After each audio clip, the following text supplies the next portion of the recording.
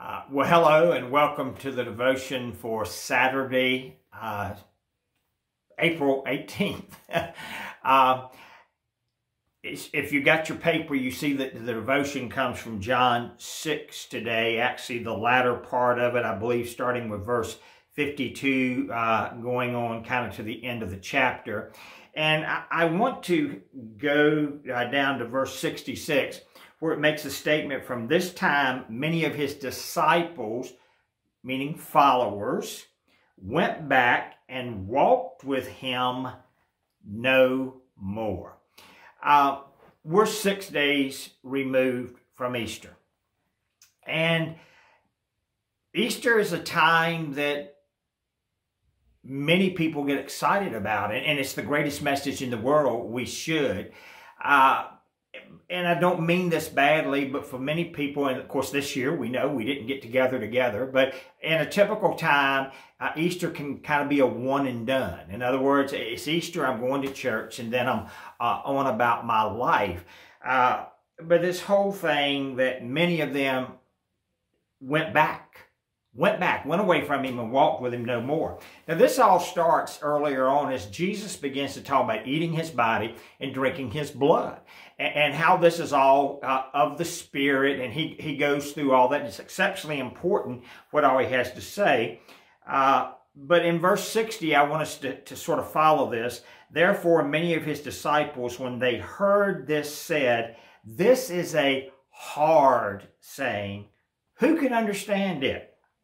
And when Jesus knew in himself that his disciples complained about this, he said to them, Does this offend you? Here's why I like this passage, or it, I guess it just resonates with me because early on we see these great groups of people that are following the Lord. By the time this is said and done, there's going to be a very small group following him. And I feel like we live in a day where we're so focused in the church on numbers and we don't want to offend anybody because we've got to have a certain amount of people in attendance. Jesus was totally clear that what he was saying was offending them. And as a result of it, Many of them, actually most of them, went away and walked with him no more. But not only did he not change his message and says, hey, come on back here. We don't need to be so hard on that. I mean, he had preached the congregation down. I mean, from big to small. And then he even looked at Simon Peter, or he even looked at the other disciples. Uh, and he asked them, uh, Do you also want to go away? He's giving them the chance to leave. Simon Peter answered, Lord, to whom shall we go? You have the words of eternal life.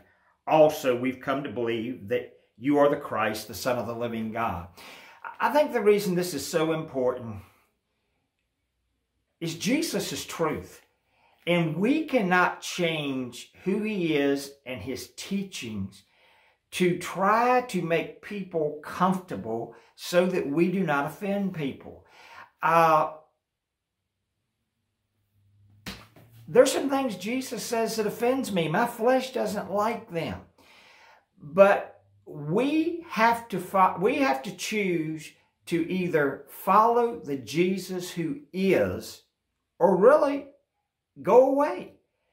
Uh, I fear is what we've done in so much of the church is we've kind of made a Jesus that we are comfortable with so that people are willing to follow after him. Jesus is the Lord of all. He is the King of all. And we need to understand his message is going to offend many, many people. Hey, I hope today that you and I will be among those who chose what Peter said, Lord, to whom shall we go? You have the words of eternal life.